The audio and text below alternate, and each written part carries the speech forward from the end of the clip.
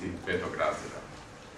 E, kao što je već rečeno kod prezentacije prije nekoliko mjeseci e, e, rezultata nacionalnih ispita za učenike osmih razreda koji su provedeni od 2. do 6. svibnja, ovdje dakle, imamo iste ciljeve što se tiče nacionalnih ispita.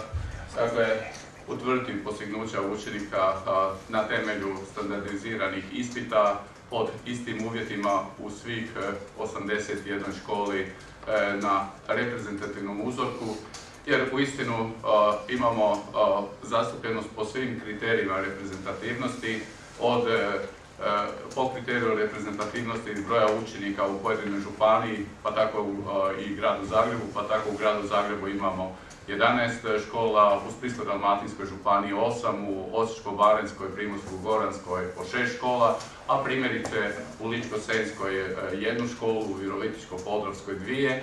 Htjeli smo tu dakle, da doista dobijemo zastupljenost broja učenika kako bi onda na nacionalnoj razini rezultati i, i po tom kriteriju bili što objektivni. Isto tako e, uvažavali smo kriterij e, velikih i malih škola, pa imamo dakle škola koje imaju i preko tisuću učenika kao što je jedna škola u Zadru.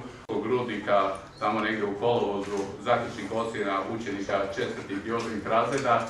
Naravno da ovi rezultati u znatnoj mjeri odstupaju od onog što imamo pokazatelja analize školskih grudnika. Pet paralelki e, učenika četvrtog razreda nećemo e, imati pojedinačno rezultate za, svakog, za svaku učiteljicu ili učitelja nego ovo, skupno dakle, na razini čitave škole.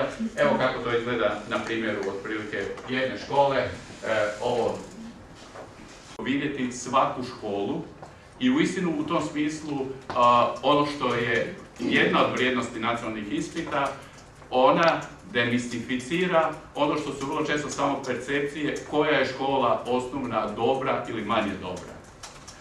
E, ja vas uvjeravam, naravno opet iz profesionalnih razloga jer je takva odluka, ovaj, ne komuniciramo pojedinačno škole, ali uvjeravam vas da od odličnih škola ima svugdje.